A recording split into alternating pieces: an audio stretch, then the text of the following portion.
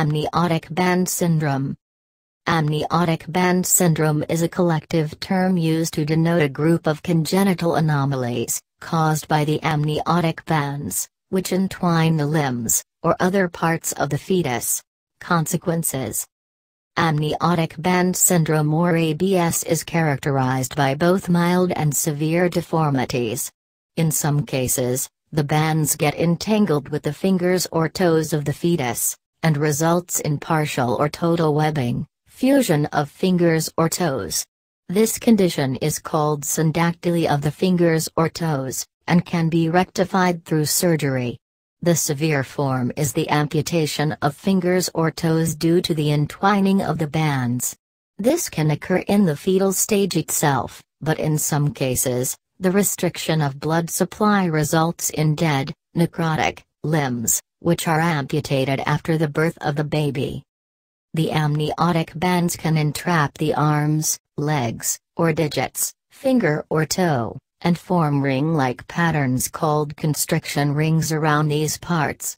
They can also cause swelling of the extremities. If the band is attached to the face or neck, it can cause deformities, like cleft lip and cleft palate.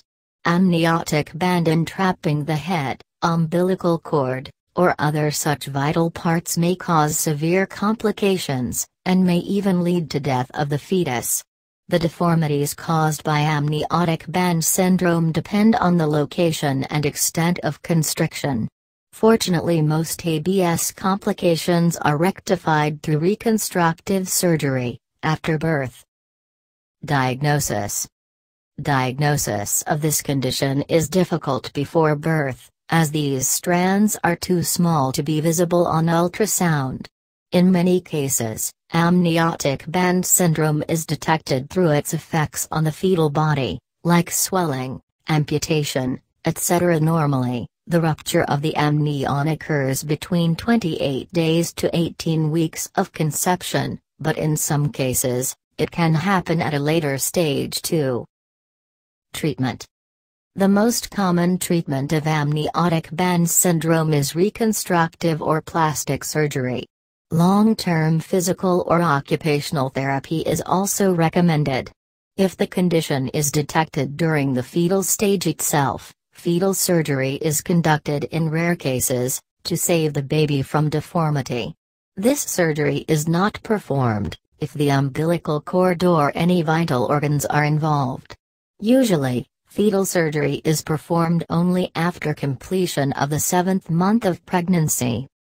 Studies show that amniotic band syndrome can cause miscarriages. According to statistics, this condition is observed in 1 among 1,200 live births. Almost 50% of the congenital deformities include cleft lip, cleft palate, and clubfoot, and 80% of the abnormalities involve hands and fingers. This condition is not hereditary, and there is no known cause for its occurrence.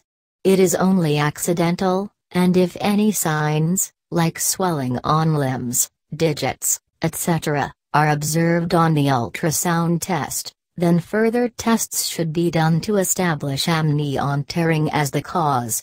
Other than this, there are no preventive measures as such. The amniotic sac is the intrauterine bag-like structure in which a fetus develops. This sac has an outer covering called chorion and an inner membrane called amnion. In some cases, the amnion ruptures and the chorion remains intact. When the amnion ruptures, many strands, bands of tissues of the ruptured amnion float in the amniotic fluid, along with the fetus. These bands can get entangled in the limbs or other parts of the fetus. The bands do not grow with the fetus. As the fetus grows, the grip of the amniotic bands tighten, thereby constricting blood flow to that body part. This will affect the proper development of the affected part, resulting in deformities. Sometimes, the affected body part may get amputated. The type and severity of the deformity may vary with the location of the amniotic bands, and the manner of entrapment. So congenital disorders caused by amniotic bands are grouped as amniotic band syndrome.